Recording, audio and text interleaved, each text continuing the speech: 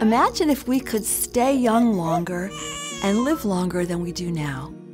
You might think this is science fiction, but actually, scientists have made some discoveries that suggest that this might actually be possible.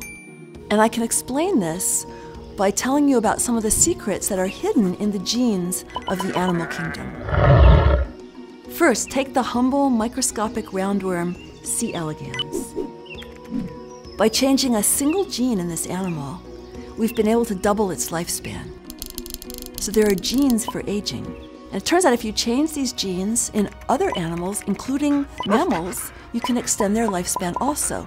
And you do that by activating a system that protects the cells. Oi.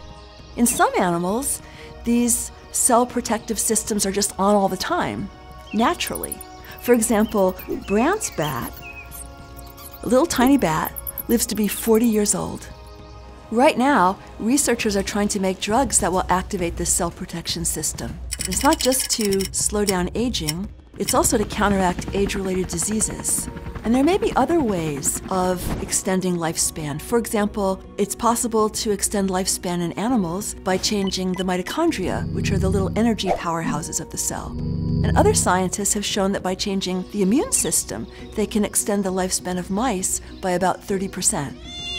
The science is complicated, and we have a lot left to explore. But this dream of adding some youthful, disease free years of life seems increasingly likely to come true.